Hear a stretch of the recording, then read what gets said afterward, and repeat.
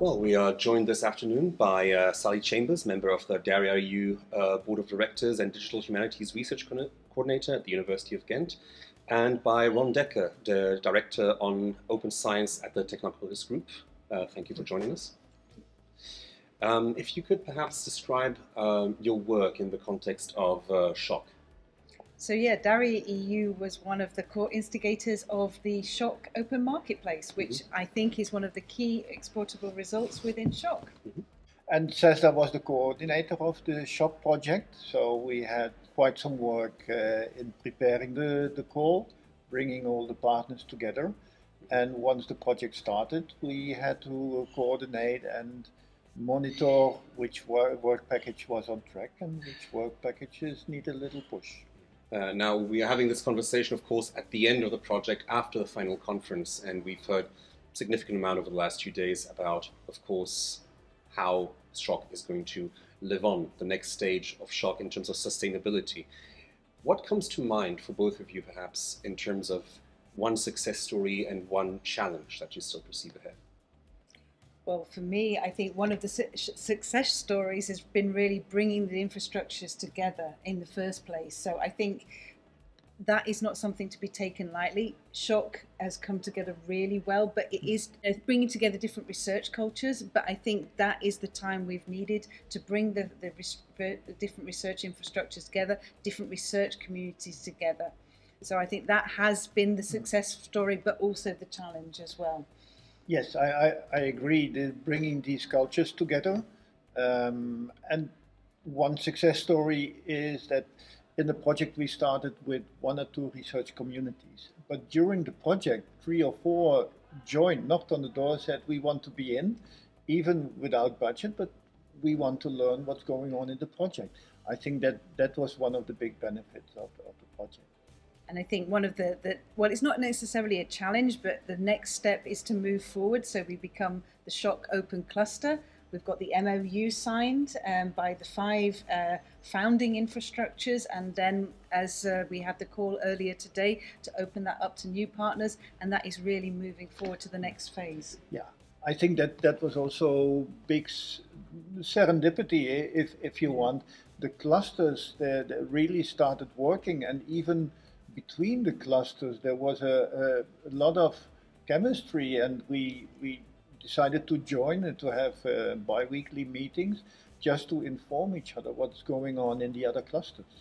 So multiple clusters, multiple disciplines, um, project really under the aegis of uh, transdisciplinarity. Um, how does that look in this future collaboration in the context of EOSC Future?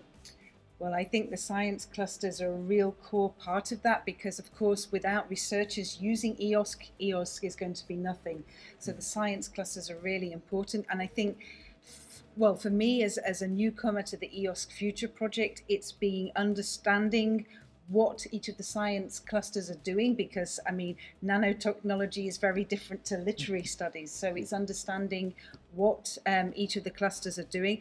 And the SSHOC conference has been really excellent to be able to come together after two years and actually ah this is what we're doing very interesting and uh, mm. understand how we can work together. Yes you can see that in the EOSC Future project even more different cultures coming together. The the, the, the science clusters uh, are as Sally says, uh, they, they, bring in content and uh, combined with the technology and bringing in the users. This should uh, the, this project should realize the EOSC, and and you need users as well. Otherwise, you you will end up with a platform without any use. Thinking of the users, thinking of the the researchers, and uh, the this project's call for cross disciplinarity.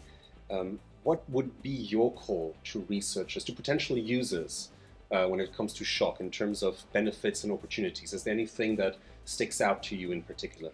We're very lucky in EOSC Future. It's been sort of thought from from the beginning. So we have these things called interdisciplinary science projects, which are really opportunities for researchers on the ground to bring together their cross-disciplinary research. So I think the science projects, if I've understood correctly, is they have to come from different uh, scientific clusters and look for the interconnections between them, but really for the benefits of the day-to-day day-to-day research. You can see that in the value added of, of the of the EOSC, which is the cross-domain work and the composability. So you can construct new data sets or tools based on what is already there.